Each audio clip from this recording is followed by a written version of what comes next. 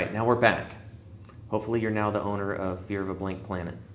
Next, Live in New York City 2007 was released. This is a Blackfield live album.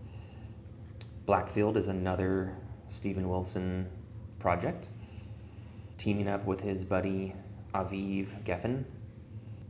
I really don't have much recollection of this show. I've only seen it once, and that was a couple of years ago, and I'm not home, so I can't put it on. But I remember really liking this show. I will return to it. The only thing I don't really like is late in the show, Aviv feels like taking off his shirt. And I think these guys are more artistic than that. I think their music stands up on its own, and the, to me, that just felt like kind of a flashy rock star thing to do. Maybe he was just warm, but to me, at that point in the video, it kills a little bit of the uh, the momentum that was building for me. But maybe you love that. So get this DVD if you don't have it. The songs are good, the mix is good, plenty discreet, like Steven Wilson's live stuff uh, ordinarily is. And uh, if you like Blackfield at all, I think you will definitely enjoy this.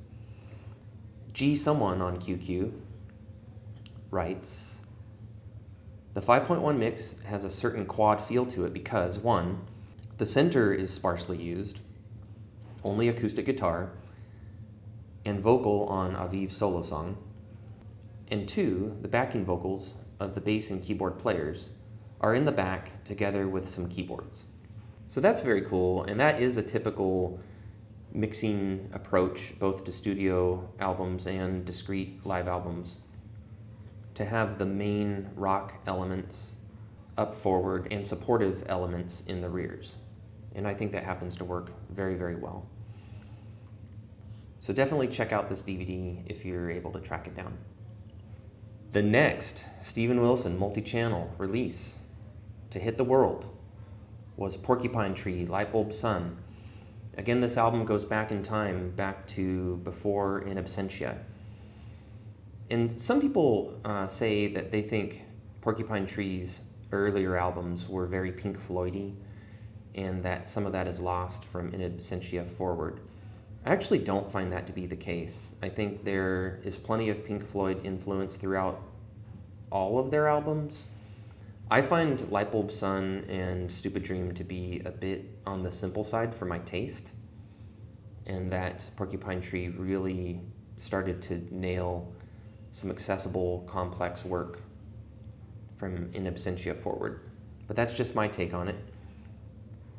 Lightbulb Sun, April 2008. John Urban from Quadraphonic Quad, pretty much the father of Quadraphonic Quad. That website really is his brainchild. And to him, the surround community owes just an immense debt of gratitude. Just as with Steven Wilson breathing life into the surround hobby and providing a lot of material, John Urban over the years has provided a place for surround heads to meet and mingle enjoy this hobby together. Many thanks to you, John, for your site, Quadraphonic Quad. And with that, he says about Lightbulb Sun This is one of the finest DVD audio discs I own, and I own a lot. First off, I had never heard these songs, so listening was totally a new experience for me.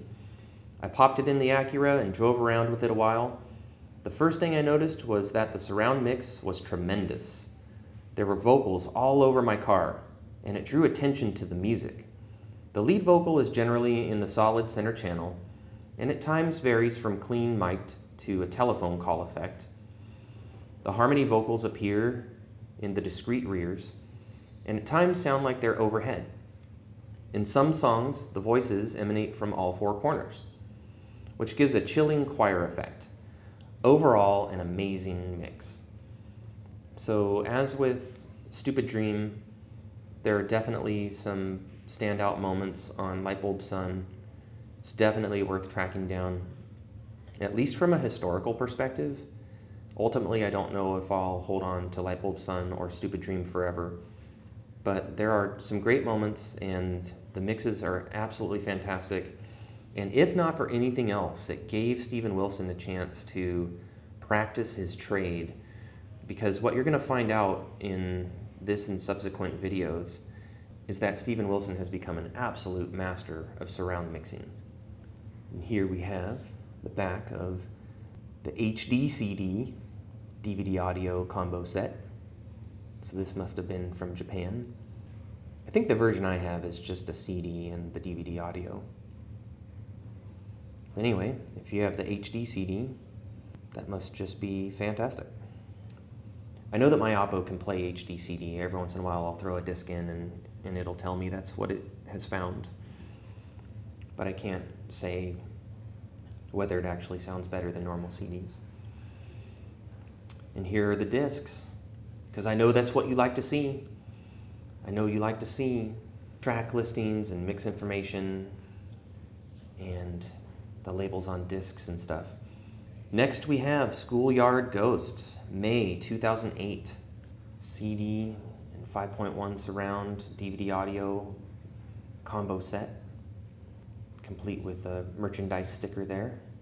So, again, Kscope, an absolute juggernaut in putting out quality multi channel music for us in the last several years. No Man, Schoolyard Ghosts. So I have this album. I've heard it several times. I really like it. It's mellow. Some of Steven Wilson's music can be described as music for sad adults. And uh, I'm grinning right now. I think that sad music is very important, and we'll get to more of that later. And here's the back. I would say the standout track here is Wherever There Is Light. So if you can find that on YouTube or um, a clip on Amazon or something, go ahead and give that a listen. The rest of the album is is solid as well. I just think that Wherever There's Light is the most memorable melody. I like the sound. I like the vibe. This is a cool record. So, No Man's Schoolyard Ghosts. I would pick this one up ahead of Together We're Stranger. I just think it's the more solid record. Now, we get to Insurgentes. Insurgentes. This is a Steven Wilson solo album. Is this the first Steven Wilson solo album released in multi-channel? I think that's true. And anyway, now you'll get why uh, I introduced this video the way I did. Steven Wilson likes to make use of this style of art. I don't know how to describe it. Kind of a morbid, macabre style of art sometimes. Here, I presume we have him on the cover, but he's behind a gas mask in broad daylight. So just kind of a weird effect. In here, this copy is still in its cellophane. It's got its merch sticker there. I would describe this record as being somewhat industrial, somewhat experimental, sonic landscapey. There are some great songs on it, but to me, this album is more about the sounds, the vibe. Insurgentes was highlighted on Quadraphonic Quad December 2008. E. Leaf, in a Quadraphonic Quad review, says The surround mix is very involved. I wouldn't necessarily say that the sound ping pongs that much, but all five channels are discrete, and he uses them very well, particularly to create sound walls to envelop the listener. This is more than a glorified stereo mix. Steven Wilson is quickly becoming a 5.1 master mixer, if he isn't already. And this album shows those talents front and center, and rears and subwoofer too. So yeah, Steven Wilson by this point is definitely becoming an awesome surround mixer. This album, as Eleaf alluded to, is pretty dense. So if you like stuff like Nine Inch Nails, even though that might be a horrible comparison. I would say that, yeah, if you like kind of dense industrial music, you can't go wrong with this album, and there are some great songs. So please, please do yourself a favor, check it out. And here we have the back with some mix information, a lovely barcode sticker there. Sorry about that. See, that's the dark side of commercialism you got to do what you got to do to get this music out there. But then this horrible sticker gets slapped on the art. Hopefully that was on the outside of the cellophane. Next, March 2010. The world was treated to Porcupine Tree, The Incident. This album is a concept album, so maybe we could view this as Porcupine Tree's The Wall. The concept was inspired by Steven Wilson driving by a traffic accident one day and seeing a police sign that said police incident. And it just struck him that an event that could cause such tragedy for the people involved could be boiled down to the word incident. And from that, we get a very cool album. Lizard King on Quadraphonic Quad says, Finally got this one on DVD-A, as I got the limited edition copy, DVD with DTS, when the incident was first released in 2009, so I didn't rush and get the DVD-A.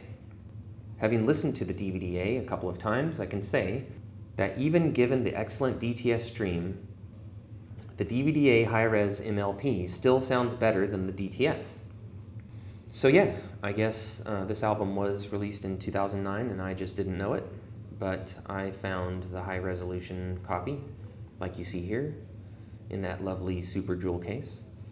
So if you can find it on DVD-A and listen to it in high res, why would you bother with the DTS, right? And here is the back art. This is a long record. I think it was originally a double album. And I don't find it as accessible as Fear of a Blank Planet, but I do find it musically lovely. The concept is intriguing and the songs are really solid. So I'm the problem. I just need to find time to actually sit and listen to this a little better, and uh, I will get around to that as soon as possible. As Steven Wilson said in an interview, each song is written in the first person and tries to humanize the detached media reportage. Very cool. I recommend this record. And then, in July 2010, the surround world was expanded with Anesthetize, a live Porcupine Tree concert, this time on Blu ray and in high res. This is a super cool concert. Timbre 4 on Quadraphonic Quad says recent memories of the incident tour were swept aside to wallow in the glory that was the Fear of a Blank Planet tour. This release captures the intensity of the concerts and showed me a lot of onstage interplay that can be obscured from typical seats. Having the camera over Gavin Harrison's drum kit alone was worth the price of admission. Having the actual visual feeds over the audio in extras was a terrific idea. So again, as with Arriving Somewhere and all of Steven Wilson's live videos, I believe. This is mixed very discreetly. You have important information, mostly supportive elements, but definitely important musical information in your surrounds. So I absolutely recommend picking this up, every bit as much as I recommend picking up Fear of a Blank Planet. Uh, this will not fail you. So here we have uh, the Blu-ray cover, including the merch sticker there. And uh, as it points out, Lasse Hoile, not sure how you say that name, Lasse Hoile, is involved with a lot of Steven Wilson's videography. So they are quite the dynamic duo. And here's the back, giving some DVD and Blu-ray information. Not sure if my set has both DVD and Blu-ray, but at least this version did. So there you go very discreet 5.1 concert. Phenomenal performance and sound quality, by the way. Discreet isn't everything. This concert really delivers an excellent, artistic, enjoyable experience. And next, January 2011, the world was treated to Bass Communion Loss. I've only ever heard this one in stereo so far, Still waiting to find the right price in multi-channel. I am going to pick this one up uh, probably ahead of Pacific Codex, just with a higher priority. I mean, this one seems to have more musical elements coming and going at more of a pace that captures my interest. Pacific Codex tends to kind of drift, take a long time getting where it's going. I would not say that Loss is melodic or accessible in any sense, but it just seems more engaging to me. And I have a very morbid wife who loves the macabre, so I could see pouring a couple glasses of wine, turning the lights out, sitting and experiencing this with her. I love this review from Cap'n Crunch on Quadraphonic Quad. He says, an 8 out of 10 from me. Negative 1 for unnecessarily creepy artwork, in quotes, quote unquote artwork. Negative 1 for being 4824. Now, hey, come on. Not everything can be 96 or 192 or, or better. And besides that, I'm not convinced that it makes a difference to the human ear, but Captain Crunch is making that argument, and I respect that. He could be right. Being familiar with dark, ambient stuff, he goes on to say, Dead Can Dance, This Mortal Coil, Bill Nelson's Dark Phase, Fripp and Eno, etc., this fits in perfectly there. As other members have pointed out, it has no song structure, only piano and electronic treatments, which are panned perfectly throughout the surround spectrum. The fact that it cuts off abruptly at the end is a frippism. Obviously, this is something that you need to be in the right mood for, but it's very good and interesting nevertheless. And someone else uh, in the comments section on Quadraphonic Quad challenged listeners to pour a glass of wine, sit in the dark, and let this album scare the hell out of you. Or uh, actually, no, that was on YouTube. Yeah, that was a comment on YouTube. And here we have uh, the backside art. And I think you can kind of get where Cap'n Crunch is coming from. I bet the artwork is uh, creepy along these lines. But you know, a little creepy now and then. It's all good. In September 2011, Grace for Drowning was released. I really like this Blu-ray. To me, it harkens back to King Crimson's Larks, Tongues, and Aspic era. It definitely has some noodly passages with some strings and different, almost random seeming percussive elements. This album also has some very strong songs, just like those classic King Crimson albums. So I wouldn't put this way high up on the list of accessible Steven Wilson work, and that makes sense since he had just been involved in a Bass Communion project. So I do recommend this, I just don't think it's going to be an album that you should start out with. If I were you, I would start with Fear of a Blank Planet, maybe Deadwing. And here we have the back of the Blu-ray with mix information.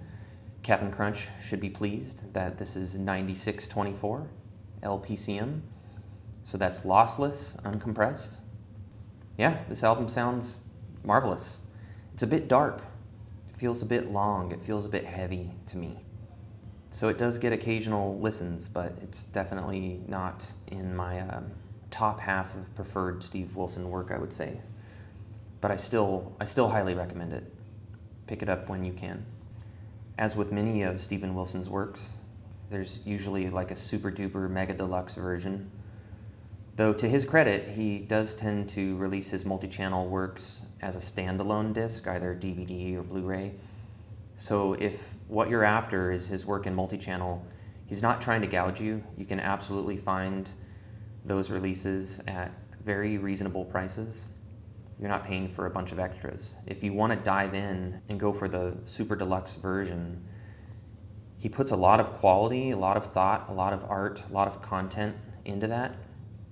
Ordinarily, the books help to tell more of a story. They help to draw you deeper into the album as a concept, deeper into the music too.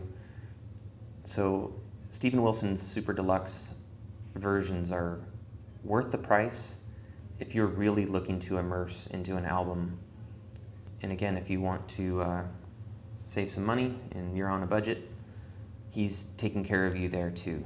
So kudos to him for for hitting both ends of the spectrum there.